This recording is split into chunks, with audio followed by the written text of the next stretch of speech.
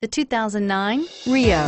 The Rio delivers sprightly performance, great fuel economy, and agile handling, all in a stylish package and is priced below $10,000. This vehicle has less than 100,000 miles. Here are some of this vehicle's great options. Front wheel drive, passenger airbag, tachometer, heads up display, privacy glass.